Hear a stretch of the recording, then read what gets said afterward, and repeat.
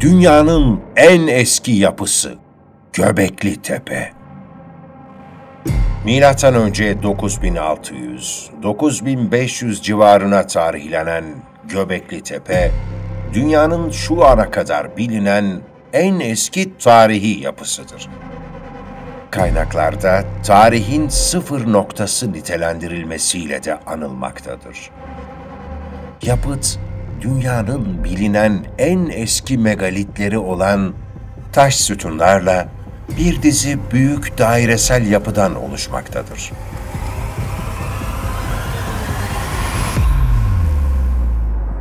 Şanlıurfa merkeze yaklaşık 20 kilometre uzaklıkta olan şehrin kuzeydoğusunda bulunuyor. Üst üste dizilmiş taşlardan ve dev sütunlardan oluşan Göbekli Tepe, dini amaçlı yapılmış toplam 20 adet T biçiminde sütunlardan oluşuyor. Boyları 3-6 metre arasında değişen bu sütunların üzerinde insan ve hayvan figürleri bulunuyor. Tarihin bilinen en eski tapınaklarından biri olan Göbekli Tepe, toplumların yaşamlarının ne kadar eski tarihlere dayandığını ispatlar nitelikte. Ancak o dönemde el arabası ve diğer inşaat malzemelerinin olmadığı düşünüldüğünde bu kadar büyük bir yapının inşa edilme süreci ise hala gizemini koruyor.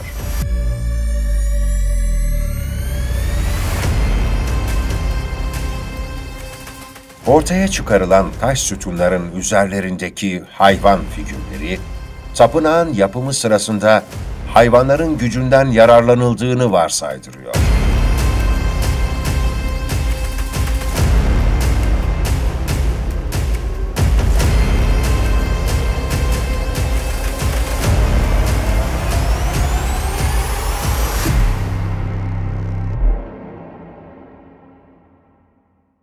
Göbeklitepe'ye geldiğimizde önce bir müze kartıyla geçiş yapıyoruz. Ondan sonra servis araçları geliyor. Servis araçlarıyla gezeceğimiz yere gidiyoruz. Gelin.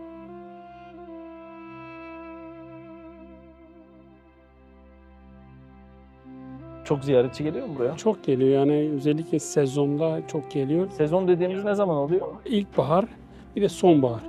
Yani Mart, Nisan, Mayıs aylarına çok geliyor. Şu anda bir ay sonra buranın sezonu başlıyor. Mart'ta Ha. başlar. Ne için geliyor ağırlıklı ziyaretçi? Göbektepe'yi ziyarete geliyorlar. Karantepe var. Orası mı büyük, burası mı büyük? Burası daha büyük. Göbektepe Burası- daha büyük. Tabii tabii. Göbektepe'nin daha e, yani yüzde 5-6'sı açılmış. Allah Allah. Tabii yüzde 95'i daha yerin altında. Daha yerin altında. Evet yerin altında. Gömmüşler yani. Yani gevradarla geomanyetik ile yapılan uydu taramaları var burada. Evet, uydu taramasıyla Uydu taram- tespit ettiler ama o monolitleri, monolitleri. Bunlara monolit mi diyorlar? Monolit, yekpare, tek, Tek parça olan. tek parça. Evet, tek parça ona monolit diyoruz. 20 tane böyle O şekli var. O, şeklinde. O şeklinde olan yani circle dediğimiz Anladım. bir şekilleri var, yuvarlak şekilde. Yuvarlak. Bir de C Onların- şeklinde olan. C şeklinde olanlar var ama genellikle bu O şekli çünkü monolitlerin şey gibi açık sahanda gibi bir yeri var. Bazı misafirlerle falan konuştuğumuz zaman acaba uzaylılar mı yaptı burayı? İnsanlar- uzaylılar yaptı. Tabii. Yani Çinler düşün, yaptı gibi bir şey. 12 bin yıl öncesini tasvir ettiğiniz zaman 12 bin öncesi sadece çakmak taşı oldu.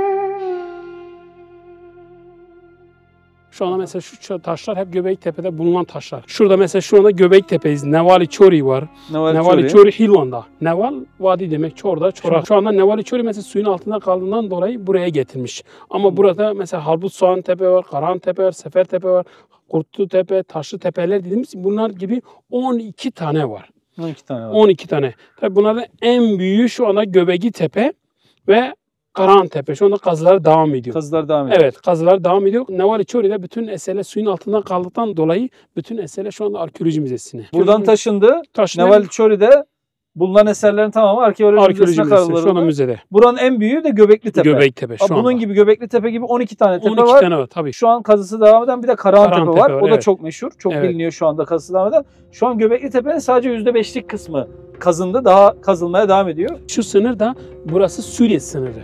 Şöyle evet. baktığımız zaman güney tarafı Suriye.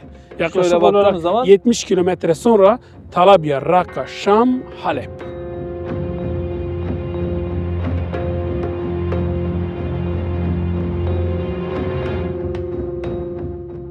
Göbekli Tepe'nin keşfinden sonra bölgede yapılan yüzey araştırmalarında birçok sit alanı daha bulunmuştur.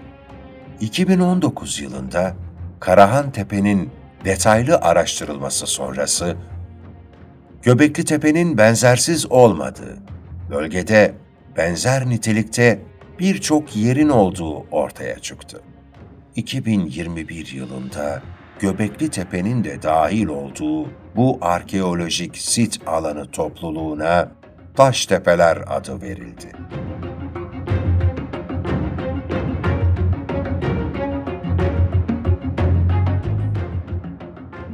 Şimdi bunların keşfi şu an burada gördüğümüz e, Göbekli Tepe gibi olan 12 tane tepenin keşfi ilk Göbekli Tepe keşfediliyor. Bir tane çiftçinin heykeli bulmasıyla beraber ortaya çıkıyor. Daha sonra uydu taramalarıyla böyle T şeklinde tepeler keşfediliyor. Ve bunlar kazı çalışmaları başlıyor. En büyük Göbekli Tepe sonra da Karahan Tepe. Diğerleri de devam ediyor. Nevali Çori'de suyun altında kaldığı için bütün eserler müzede, Müzede, sergileniyor. evet. Müzeye alınmış. Evet.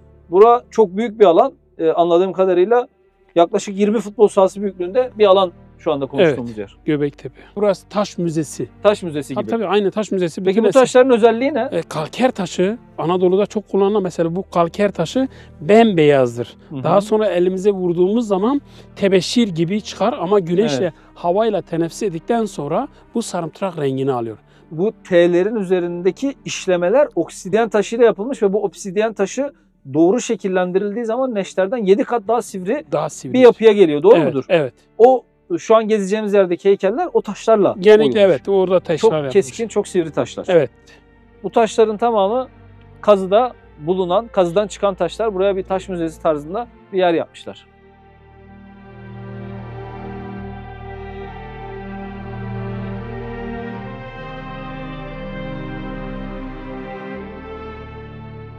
Şimdi bu dönem 12 bin yıl önce bir yerdeyiz. Evet. Göbekli Tepe'deyiz. Evet. Yaklaşık 20 futbol sahası büyüklüğünde bir alanda yapılan kazı çalışmaları sonucunda ortaya çıkan muazzam bir yapı var. Şimdi göreceğimiz sütunlar yaklaşık 24 ton Ağırlığında. ağırlığında. Ağırlığında taş. Yani o dönem inşaat, mimari, araçlar, teknik yani teknoloji hiçbir şey yok yani. Daha yazının tekerleğin bile Evet. olmadığı, insanların göçebe hayat yaşadığı bir dönemden bahsediyoruz. Ortaya çıkan bu eser yaklaşık 10 bin yıl boyunca toprağın altında gömmüşler. Bir de Kesinlikle. çok şaşırtıcı olan kısmı ne biliyor musun?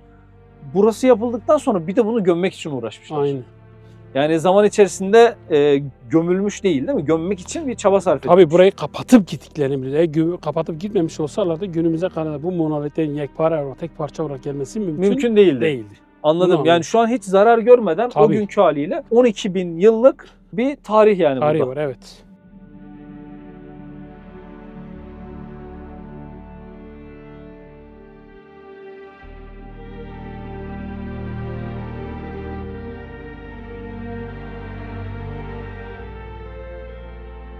Buraya çok fazla herhalde tarihçi, ziyaretçi olarak Tabii, tabii geliyordur. bunun e, özellikle tarihçiler geliyor çünkü dünyadaki yani bugün Stone Age Stone Age ve Mısır'dan çok daha eski. O daha eski. En eski bildiğimiz yeri daha önceleri milattan önce Malta Adası 5000. Orası en eski bildiğimiz yer orası. E, Stone Age'den 6500 yıl daha eski. Mısır piramitleri 7000 yıl daha eski burası. Şöyle bir söylenti var. Az önce yolda gelirken de bahsettin ya.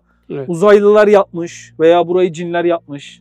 Bu tarz söylentilerin bir şeyi var mı? Altyapısı var mı? Ya da burada yaşanan çok esrarengiz olaylar, e, burada yaşanan e, böyle garip vakalar, işte insanlar buraya gelince hastalıklarına şifa Daha buluyormuş. önceleri geliyorlardı. Mesela biraz sonra gideceğimiz dut ağacının orada dört tane mezar var. Grey Mraza diyorlar. Grey- Grey Mraza. Mrazlar diyarı. Yani Gelen hastalar burada Tabii, şifa Tabii. Yani şifa anlamında evlenmek isteyen, çocuğu olmayanlar gelip burada özellikle Mart, Nisan aylarında baharın gelişiyle ziyarete geliyorlar.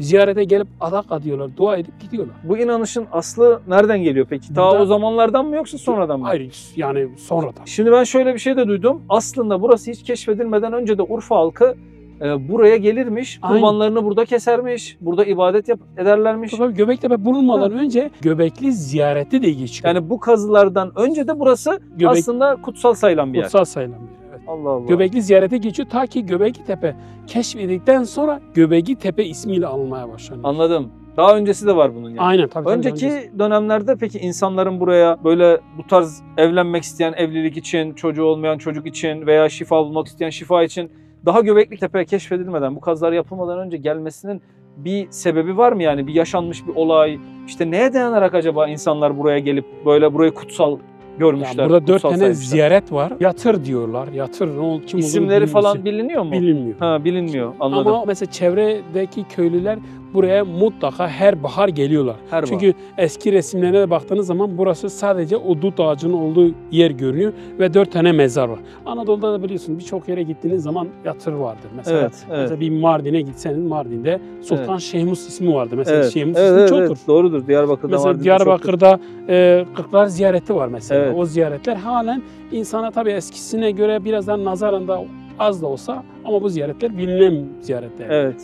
Buranın şu anda dünyada bir koruma altına girmiş bir şey var mı resmi? UNESCO Mesela. Kültür Mirası Arası 2018 yılında 2018'de UNESCO Kültür Mirası listesine giriyor. Listesine, daimi listesine giriyor. Tapınakların günümüze nasıl ulaştığı ilginç konulardan birisidir. Çünkü 12 bin yıl öncesine ait yapılar topluluğunun en azından ciddi dezenformasyona uğramış olması gerekirdi. Oysa bu yapı grubundan bazıları hiç bozulmaya uğramadan günümüze ulaşmıştır. Tapınakların bir kısmı hava etkisi ve erozyon gibi doğal olaylar ile kapanmışken, geri kalan kısmı yapıldıktan yaklaşık bin yıl sonra yüzlerce metreküp taş, toprak ve bunun gibi malzeme kullanılarak insan eliyle gömülmüşlerdir. Başka bir ifadeyle, insanlar elleriyle yaptıkları mabetleri yine kendi elleriyle gömmüşlerdir.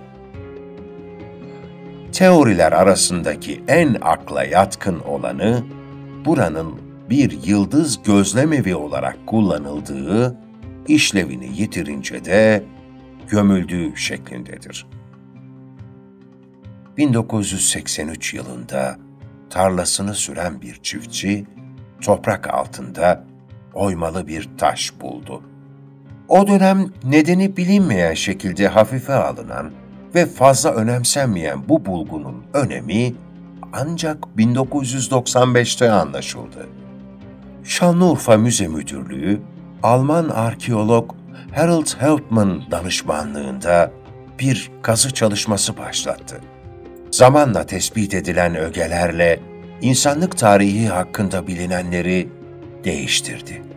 Tespit edilen heykeller, simgeler, taşlar, çizimler, üç boyutlu oymalar iyice dikkat çekmeye başladı. Çalışmalar uzun yıllar devam etti ve her gelişme arkeoloji dünyasında ve bilim dergilerinde büyük yankı uyandırdı. Bölgeyi görmek isteyenler ve gelişmeleri takip edenler arttı.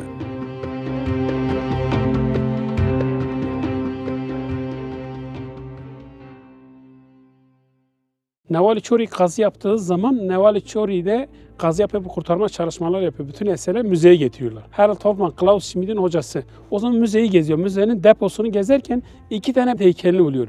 Diyor ki bu heykeli nerede buldun diyor. İşte diyor bir çiftçi. Çiftçi de o zaman burada tarlayı sürerken, kara sapala tarlayı sürerken iki tane heykelini buluyor. Fauluslu iki insanı heykelini buluyor. Bunları götürüyor müze. O zamandaki müze müdürü tabii arkeolog olmadığından dolayı diyorlar ki işte bunları tutuyor depoya kaldır. Depoda bırakıyor yıllarca. Tabii o zaman Klaus Schmidt'in hocası gelince depoyu gezince diyorlar ki işte bu heykelini buluyor. Anlayınca da diyor ki bunu nereden buldunuz? Nereden buldun diyor. Nereden buldunuz diye burayı tarif ediyorlar. O da gelip burada kazı çalışması Burada kazı başlatıyor. yapılıyor. Peki kazı çalışması başlatmadan önce o uydudan tarama yöntemi kullanılıyor mu? Yok daha Yani önce- taramadan sonra sonra yani ilk başta mesela şu A yapısından başlıyorlar. A A yapısı. ben bakarsanız buranın içine girip gezebiliyor muyuz? gezemiyoruz. Ha, aşağıya Oraya inemiyoruz yani. İnemiyoruz. 12 bin yıllık bu alan keşfedilmeden önce o yıllarda insanların demir kullanmayı bilmedikleri ve çanak çömlek yapımına başlamadıkları düşünülüyordu. Ayrıca insanlığın yerleşik hayata tarımın keşfiyle geçtiği sanılıyordu. Oysa Göbekli Tepe bu bilgiyi de değiştirdi. Ve insanın henüz avcı toplayıcı olduğu dönemde bile yapılar inşa ederek yerleşik düzene geçtiğini gösterdi.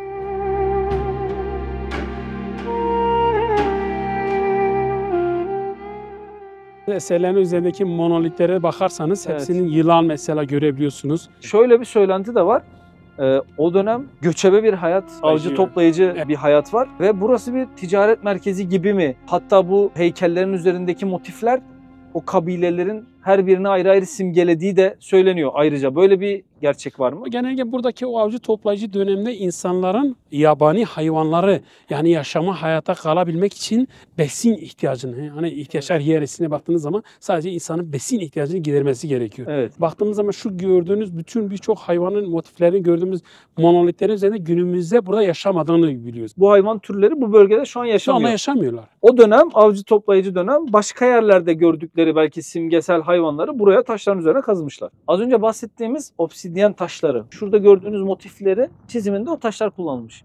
Yani bu bahsettiğimiz dönemde hiçbir şey yok yani. Yani araç gereç olarak kullanılan sadece taşla taşı kazıyarak yapılan işlemler bunlar yani. Şu an gördüğümüz kısım sadece %5'lik bir kısım. Yani %95'lik kısmı henüz daha tam açılmamış. Açılmamış, Kazı evet. devam ediyor mu? Devam ediyor. Senenin belli zamanları ve kurtarma çalışmaları özellikle arka taraflarda A, B, C, D yapı, E ve F e, bölgeleri de arka tarafta. Arka tarafta. Şu an burada dört tane oda var. Şimdi Bölüm. bu bölümler biraz daha aşağıya doğru genişliyor mu? Devam ediyor mu bölümler? Bazı bölümler mesela A yapısı daha B yapısı biraz daha geniş. C yapısı, D yapısı daha D yapısına baktığınız zaman biraz daha heykellerin orijinal olduğunu görebiliyorsunuz. orijinal oldu. Mesela şuradaki En büyüğü şuradaki mi? şuradaki o evet, C D yapısı mı? Evet D D, yapısı. D yapısı. D yapısı orası D yapısı. Bu C yapısı burası. Ve mesela bir bakarsanız bunların üzerindeki motiflerin hayvan motiflerinin şu anda günümüze gelmemiş olması. Mesela bir çöl varanına benziyor değil mi? Şuradaki hayvana bakarsanız bir mamuda benziyor. Mamutlar biliyorsunuz Güney Afrika ya, ya haz bir boğa şekli. Boğanın türlerinden bir tanesidir. Şurada Altta tilki var. dinozor Tilki. tarzı bir şey var. Tilki var. Hemen arkada su kuşu. Su kuşu. Flamingo mu dersiniz? Burada onu görme ihtimali yok normalde. Yani normalde burada biliyorsun hep sulak olan yerlerde hayvanların çok yaşadığını biliyoruz ki ama burada bu mamutun Güney Afrika kökenli olduğunu ve ama burada da yaşamış olma ihtimalini verebiliriz ki. Yani işi esrarengiz kılan da biraz bunlar mı oluyor? Gerçi hani avcı toplayıcıysa orayı görüp oradan göç ederek buralara gelmiş olabilir. kesinlikle. Orada gördüğü bir e, hayvanın resmini buraya işlemiş. Ya dünyada baktığımız zaman 300 yer var. Hepsi birbirine farklılık kazanıyor. Mesela Çatalhöyük, Çayönü biliyorsunuz. Evet. Orada yerleşik bir hayat var. Evet. Rutin bir hayat var. Evler var, e, tarım yapılıyor. Kaç bin yıl sonra? Yaklaşık olarak e, Navale Çori'den yani 8000 6000 yıllı yıllar. A- Milattan aynı- önce 6000 yılları. Evet. Mesela Çatalhöyük Çayönü de aynı şekilde Diyarbakır'daki Konya'daki de aynı Neolitik dönem. Yani dünyadaki Neolitik dönemin birbirine farklılık kazandığını söyleyebiliriz. Ha bugün Stone Age'e giderseniz Stone Age'in motiflerine bakarsanız Stone Age'in motiflerinde hiçbirisinde bir taş yok.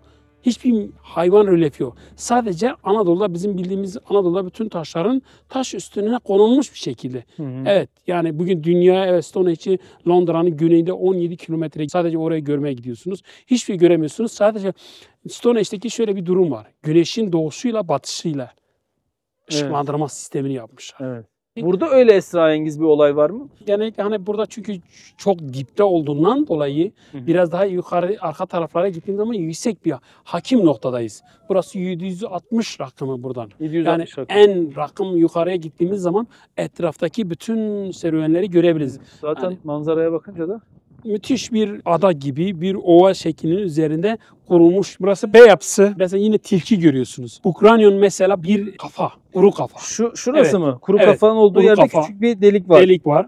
Yine burada yine aynı şekilde Bukranyon diye bir hayvan kafası var. Bu kranyum. Bukranyon evet. Şu birincisi şu, bir Evet, de birincisi- şu bir de deliğin burada var. üstünde. O Evet. hayvanın özelliğini. Yani boğanın kuru kafası. Şöyle Bukranyon. bir şey duydum yani bu insanların toplu şekilde kafatasları bulunmuş. Hani Evet. burada insan kurban ediliyor gibi bir söylenti de var. Araştırmacılar şöyle diyor. Burada bulunan insan kafatasları üzerindeki darbeler ve kesikler insan öldükten sonra yapılmış. Yapılmış. Bu da şunu gösteriyor biraz. Yani buradaki toplum atalarının kafataslarını mezardan çıkarıp yanlarında taşıyıp onun üzerinde Şekil veriyor. Şekil veriyor. Burada çünkü mezar yok. Hani yerleşik hayat burada yok. E o şu- dört tane mezar dediğin yer neresi? Şu yukarıda birazdan Yukarıda. gideceğiz. Ha, oraya tamam. yukarı, en yukarı Tamam. geçtiğimiz zaman orada onları göreceğiz. Bu bahsettiğim hani e, insan iskeletleri bulunuyor ama kafatasları yok. Gene Veya burada insan kemiği bulmuş ve hayvan kemiği çok. Az insan kemiği var çünkü burada yerleşik hayat olmadığı için ölülerinin defnedilme durumu yok. Yani mezar olmadığından dolayı. O zaman da ne yapılmış? Akbabalar var mesela. Akbabalar leşle besleniyor. Evet. Mesela birazdan göreceğimiz bir monolitin üzerinde hem insan kafası aynı şekilde bir de akbabayı Akbaba. göreceğiz. Ha, Akbabayı. insan kafasının yanında akbaba. Akbaba aynen bu kanatların üstünde gösteriyor. Çok enteresan bir yermiş. Şurası en geniş yer Evet, D en alanı. geniş yer D en alanı. geniş bölge. Burada ne yapıyorlarmış yani buranın özelliği ne yani burayı niçin kurmuşlar? Yani burada asıl amaç bura kutsal bir tapınak gibi mi? E Şimdi burada 12 bin yıl önce kurulmuş bir alan var Evet. ve o zaman avcı toplayıcı bir yapı var. Yerleşik hayat yok. Öyle bir düzen yok. Evet özellikle. Ama böyle bir yapıyı neden kurmuş olabilirler? Yani böyle bir zahmete niye katlansınlar? Şimdi ben burayı duyunca dedim ki ya insanların bu kadar büyük bir zahmete katlanması ancak kutsal bir şeye e, olan inançla. Çünkü insanın fıtratındaki o fedakarlık hissi sadece ve sadece bir kutsal için yapılabilecek bir şey Kesinlikle. yani. Şimdi burada böyle muazzam bir çaba var. insanüstü bir çaba var yani. Şimdi bu çabayı insan herhangi bir şey için göstermez. Ancak inandığı bir şey için gösterir. Yani insanın fıtratında da zaten bu inanç meselesi var. Kesinlikle. Bu inanç meselesi olduğundan dolayı mesela bugün de yani her yaratılan bin yıl, 12 bin yıl önce de olsa, bugün de olsa, geçmişte de, ileride de yaratılan bütün insanlarda o kutsalı için hayatını adama hissiyatı var. Doğru mu? Evet doğru. Bu hissiyatla bu kadar şeye katlanılmış olabilir mi? Kesinlikle çünkü burası büyük bir alan. Burası muhtemelen gelip beraberce ama neye inandıklarını bilmiyoruz. Neye inandıklarını bilmiyoruz. Hocam buradakilere de bakarsanız akbabaları görüyor musunuz? Şuradaki akbabaları mesela. Aborjinler biliyorsun Avusturya'da yaşıyorlar. Evet. Aborjinlara benzeyen bir çantalar var. En üstteki akrep var. Kafayı gördünüz mü? Top Evet. şeklinde gibi bir akbabanın kanadının üzerinde. Yani buradaki monolit de orijinali burada. Şurada kolu görüyor musun? Yani bunun ikisinin üzerinde de kol var. Göbekli Tepe'de yapılan kazılarda konut olabilecek herhangi bir mimari kalıntıya ulaşılmamıştır. Bunun yerine çok sayıda anıtsal kült yapı ortaya çıkarılmıştır. Yapılarda kullanılan dikili taşların çevredeki kayalık platolardan tek parça olarak kesilip işlenerek Göbekli Tepe'ye getirildiği ileri sürülmektedir. Bazılarının boyu 7 metreyi bulmaktadır. Jeofizik araştırmaları bugüne kadar gün yüzüne çıkarılanlar da dahil olmak üzere Göbekli Tepe'deki yapılarda toplam 300'e yakın dikili taş kullanılmış olduğunu göstermektedir. Bölgede kesilmiş ama işlenmemiş dikili taşlar bulunmakta olup çevredeki kayalık platolarda ne amaçla yapıldığı anlaşılamayan bir takım oyuklar ve kazıntılar vardır. Diğer taraftan çoğunluğu Platon'un batı kesiminde toplanmış olan yuvarlak ve oval çukurların yağmur sularını toplamak için yapılan bir tür sarnıç olduğu düşünülmektedir. Bu çukurlardan yuvarlak olanlar 1.20-3 metre arasında derinlik gösterirken oval planlı olanların derinliği 0.50 metredir. Burası Göbekli Tepe keşfedilmeden yani şu kazı çalışması yapılmadan önce de insanların gelip ibadet ettiği Yer. alan, yer burası. Hemen onun altında da ne çıkmış? Bir bayanın doğum sahnesi. İlk defa yani burada baktığımız zaman bütün hayvanların üzerinde hep erkek görebiliyoruz. Ama ilk defa burada bir bayanın doğum sahnesinin kayanın üzerine işlendiği resim İşlendiği. var. Tabii işlendiği resim var ama şöyle bir özellik var. Normalde insan doğum gerçekleşen kafa üstü gerçekleşir. Evet. Burada ayaküstü. Yani ilk burada görülmüştür. Burada baktığımız bütün hayvan şekilleri ya da bütün hayvanların hepsinin dişi olmadığını biliyoruz. Yani buradaki figürler ve hayvan resimlerinin tamamı erkek. Erkek Tek dişi figür tek, burada. tek dişi figür burada çıkmış. O da şu anda arkeoloji müzesinde. Ha, o da müzede tabii, sergileniyor. arkeoloji burada değil müzesi, yani. Ben şeye dikkat çekmek istiyorum. Bu kazı çalışmalarından önce Urfa halkı buraya gelip işte çocuğu olmayan çocuk Evet. için, bereket isteyen bereket için, Tamam, belki hastalığı olan için. şifa bulmak için burayı ziyarete geliyormuş. Biraz bunun da mantığını tam anlamakta zorlandım da o yüzden soruyorum yani. Var mı bunun bir altyapısı, bir Tabii kesinlikle buraya mesela çocuğu olmuyor. Özellikle yani adak adama her baharda gelip adak adayıp gittikleri bir yer. Peki bir şeye Ne- dayandırarak mı yapılıyor bu Ha, yoksa Burada ziyaret var. bu Yani- aslında son dönemlerde olan bir şey o zaman. Evet, Yani son dönem tabii, tabii, göbe- yani şey. 150 belki 200 yıllık 150 bir 200 yıllık. Yani burada bir ziyaret var. tabii Burada yatan mübarek bir zat var. O zat e, hürmetine buraya insanlar gelip dua ediyormuş. Türbe Dua gibi ediyor. kullanıyormuş. turba gibi aynı. E, daha sonra da yani burası o şekilde kullanılırken e, burası keşfediliyor. Göbek Tepe bulunmuş. Aslında Göbekli Tepe'nin geçmişi burası değil burası. Kesinlikle orası. En Anladım. eskisi orası. Çünkü Göbekli Tepe'yi insanlar Göbekli ziyareti biliyorlar. Anladım. Ta ki Göbekli Tepe burayı keşfi yapıldıktan sonra Göbekli Tepe ismiyle almaya başladı. Dört tane yatır var. Kime ait olduğunu bilmiyoruz ve gittiğimiz zaman biraz da mezarlarını göreceğiz orada. Tabii. Yani gene ki Anadolu'da birçok yerde gittiğiniz zaman köylerde yatır var mutlaka. Evet. Bizim köyde de var mesela yatır Evet. var.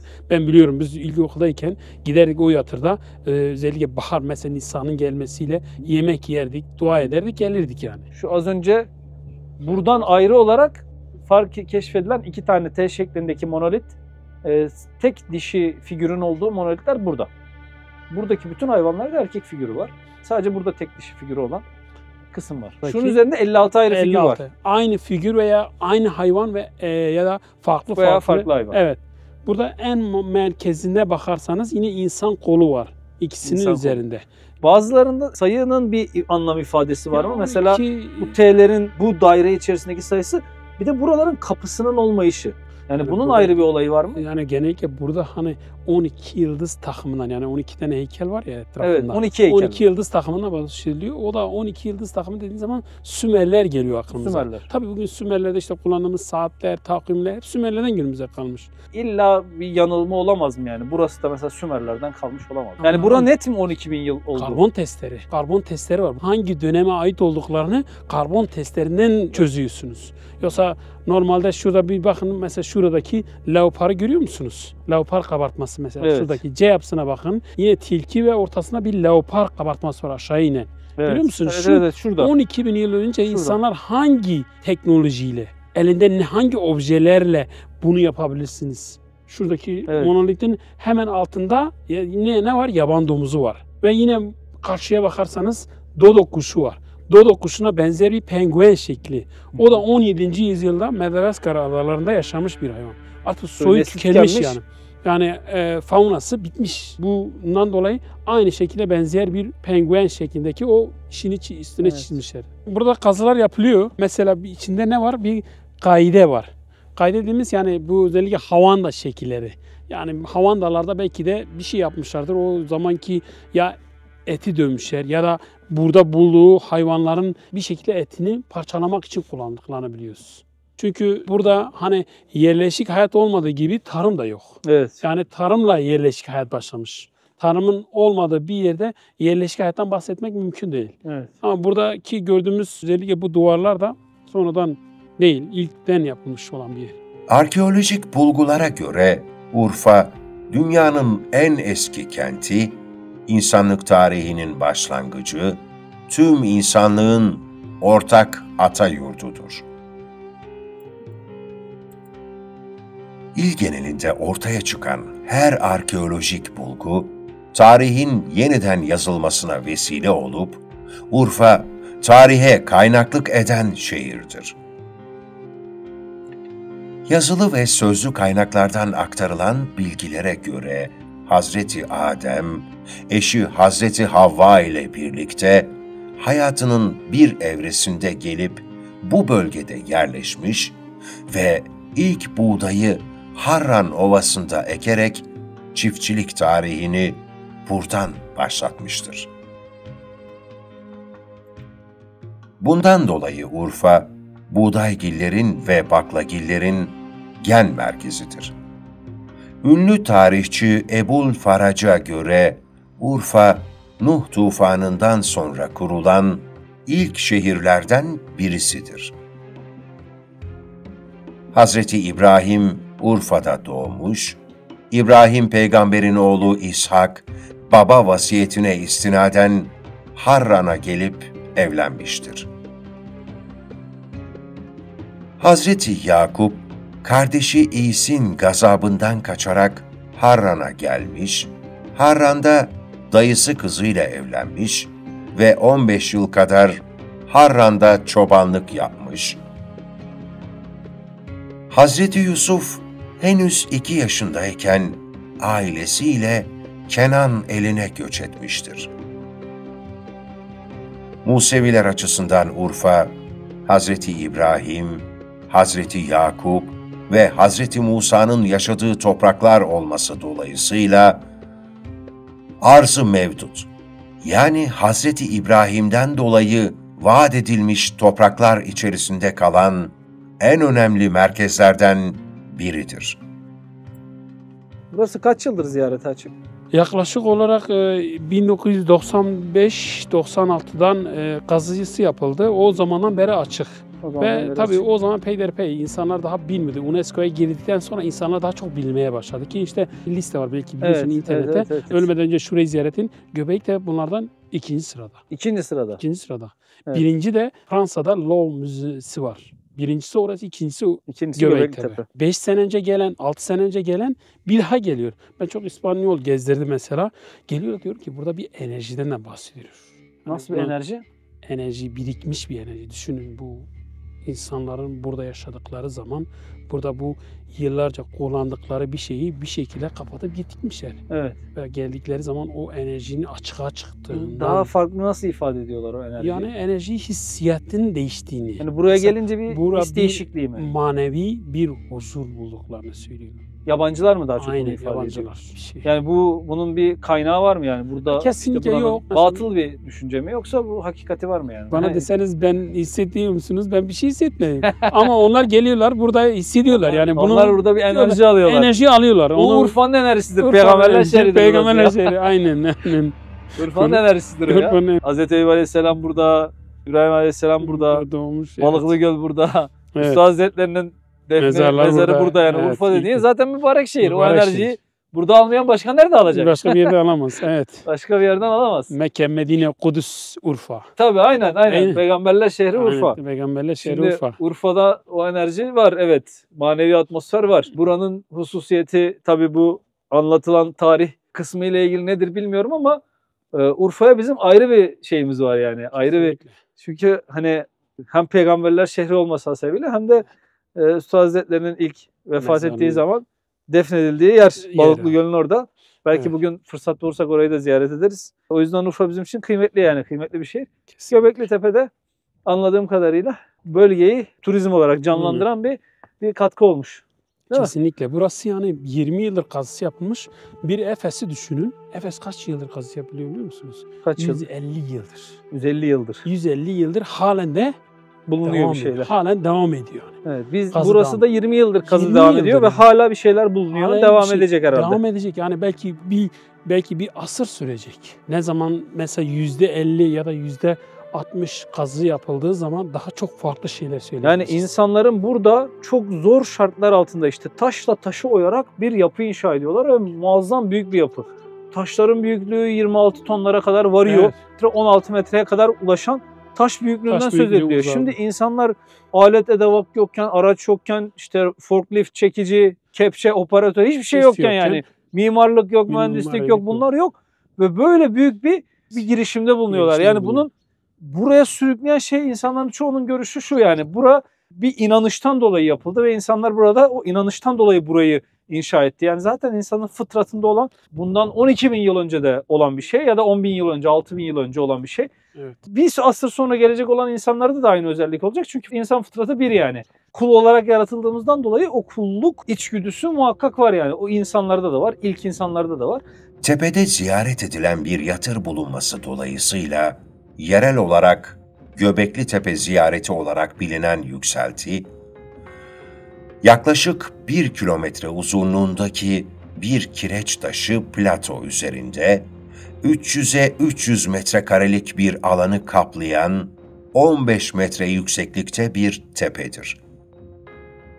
Plato, kült yapıların yanı sıra taş ocakları ve işlikleri de bulunmaktadır.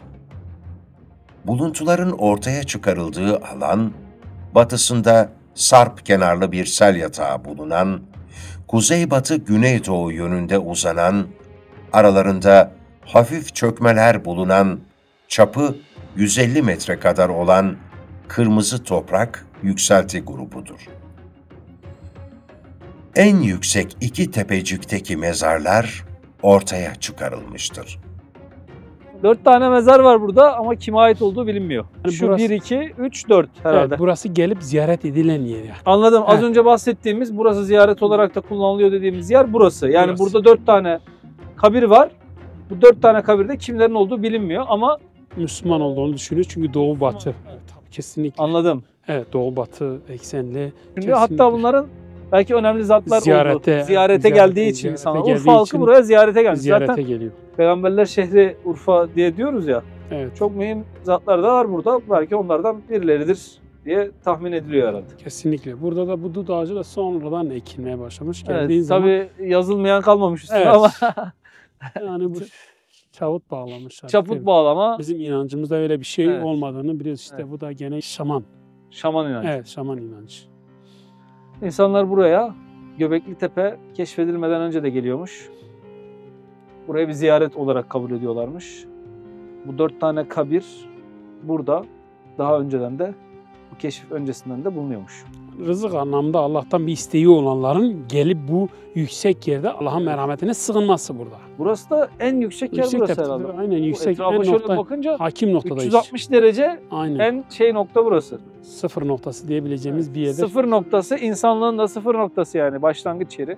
Ebul Faraç Arap Seyha diyor ki Urfa'dan bahseder ki ilk kurulan şehirlerden bir tanesidir. Çünkü Cedül Enbiya Hazreti İbrahim'in doğduğu yani bugün Hazreti İbrahim ise poloteisten monoteist tek tanrı zamanlarına geçiş tevhid inancı yani la ilahe illallah Muhammeden Resulullah Allah tektir eşi benzeri yoktur Muhammed onun kulu ve elçisidir. Biz Hazreti İbrahim'den biliyoruz. İşte bugün İbrahim Hazreti İbrahim'in hayatına baktığımız zaman Hazreti İbrahim bütün dünyanın e, bütün insan varlığının hepsinin kökünün geldiğidir. Çünkü birinci eşi Sara, ikinci ise Hacer annemiz. Evet.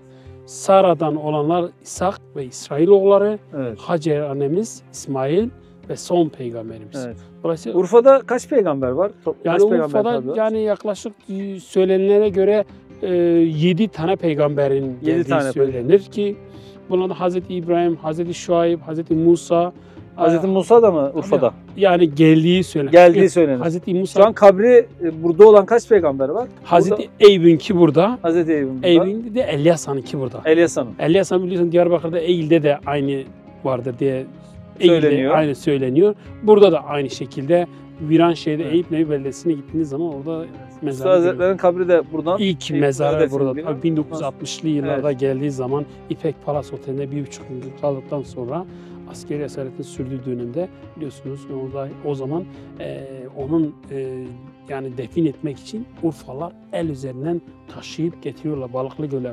O Balıklı Evet. Göl bulduğumuz Evet, yere evet. Halil. Rahman'a defnediyorlar. Halil Ondan sonra oradan kabrini tekrar bilinmeyen bir yere, Bir yere tekrar taşınıyor. taşınıyor. Evet Urfa çok kıymetli bir şehrimiz. Yani Göbekli Tepe'de Urfa'ya ayrı bir değer katmış. Kesinlikle. Allah razı olsun. Yani Urfa Kesinlikle. peygamberler şehri. Taşıyla, toprağıyla, havasıyla şöyle şu manzaraya baktığın zaman, ovaya baktığın zaman e, bir Urfa'nın kıymeti daha iyi anlaşılıyor.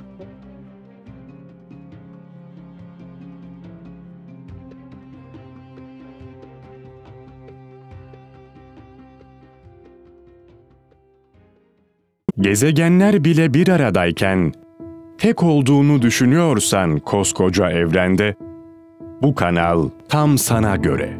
Bu video YouTube kazanında kaybolmadan senin gibi başkalarına da ulaşabilmesi için desteğe ihtiyacı var. Her abone bir kırgın yüreğe daha ulaşmayı sağlayacak. Beğen, abone ol ve yorum yapmayı da unutma. Siz de Hayalhanem'in yurt içi ve yurt dışı projelerine destek olmak için buradaki linke tıklayarak online bağışta bulunabilir veya aşağıdaki iletişim numaralarından bizlere ulaşabilirsiniz.